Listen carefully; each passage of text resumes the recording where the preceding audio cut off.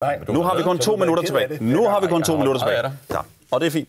Nu har vi to minutter tilbage. Bjørn Kordon, her til sidst, så vil jeg rigtig gerne vide, hvis I genvinder magten, Ja. kan du så nævne en eneste reform, du vil lave? Masser af reformer. Kom. Altså, det bliver øh, meget, meget hit, øh, hvis vi fortsætter. Sig frem. Noget af det, vi skal have gjort, det er jo at gøre det endnu bedre at drive virksomhed i Danmark. Øh, og der er det jo ikke rigtigt, at vi har øh, skubbet den regning. Vi har lagt penge til side. Hvordan skal det Øh, gøres de- endnu de bedre aftaler, vi har lavet, Hvordan skal det gøres bedre vi har lagt milliarder af kroner til side til at lempe skatten for virksomheder endnu mere i det her land. Vi skal finde ud af, hvilke virksomheder, hvordan, hvad der virker bedst, det skal laves om. Skatten skal lempes for virksomheder. Det kommer, der pengene er lagt til side. Okay. Pengene er lagt til side. Vi kommer til at lave om på den måde, vi arbejder med digitalisering i hele vores velfærd. Vi kommer til at gøre mere for de mennesker, der er på kontanthjælp længst væk fra arbejdsmarkedet. Lige kommet en rapport om det. Det skal man i gang med. Integration, hvis du vil stemme for, så kan man komme i gang med, med, med det. Jamen, men jeg prøver, vi, vi har mål for at effektivisere den offentlige sektor for 12 milliarder kroner. Der kommer snart en status for, hvor langt vi er nået. Vi er nået pænt langt. Der er mere at, at gøre. Vi har lagt en plan frem for at bruge 6,5 milliarder kroner på vores sygehus. De skal ikke bare klattes væk. Det skal fungere langt bedre med kræft, med kroniske patienter, med ældre medicinske patienter. Altså, vi har jo en plan for de her ting.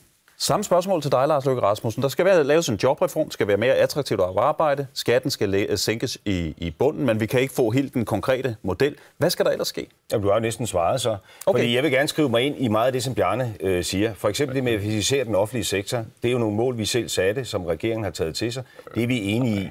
Det er øh, et nødvendigt øh, opgave for os alle sammen. Også det med at reformere sundhedsvæsenet fremadrettet og sådan noget. Men det gør det bare ikke alene.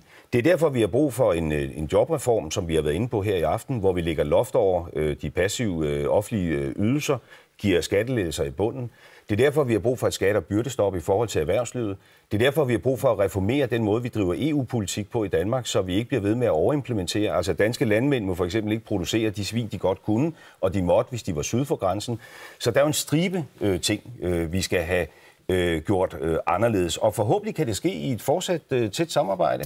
Øh, fordi øh, vi har jo været Jamen det er egentlig det, jeg gerne vil slutte. Er, afstand, er afstanden egentlig ret stor mellem jer to? Men der er jo bare to ting at sige Er om den det? afstanden og Er retningen. afstanden? Ja, det, altså, vi kan samarbejde, når, øh, når det er den her regering, der sidder for bordenden. Det er jo sådan, det har været. Altså, der har været samarbejde. Fordi jeg har haft en bedre opposition, ved jeg, Lars Løkke så Rasmussen bør den der sørge det. for at blive ved med at være opposition. I hvert fald må man sige, at Det er jo sådan en lidt arrogant bemærkning. Det synes jeg faktisk ikke, det er, sige, nej. Fordi man ikke samarbejdede, da man selv var opposition, Men- men det og vi ikke- har valgt at gøre det, så, så har man ligesom ophøjet sig selv til, at man permanent skal være i regering. Nej, det har man ikke. Altså, man sandheden, har bare en god hukommelse. Sand- Og den hukommelse går ud på, at vi havde blokpolitik i 10 år, da I sad med Tulsendal. Det er jo ikke rigtigt. Jo, det fordi det de reformer, som har lagt grundstenen til, at dansk økonomi det har det godt, det må vi lave sammen med det radikale venstre. Og Dansk Folkeparti i aller sidste øjeblik, Men efter det ellers have radikale knaldet det hele venstre væk, og? Dansk Folkeparti, det er da ikke et blok. Det var det jer, der valgte at holde jer Men- ude men for. det Det er- var vi- dig, der vi- skrev vi et overlader- oplæg, som var totalt underfinansieret, og som vi nu. heldigvis Rolig nu. gik Vi væk har- fra vi i har- samme øjeblik, vi har I fik ikke, vi har, regeringsmagten. vi har ikke mere tid. Valgkampen er i gang. De her tusind tak, fordi I var med. Lars Løkke Rasmussen, Bjarne Goridon.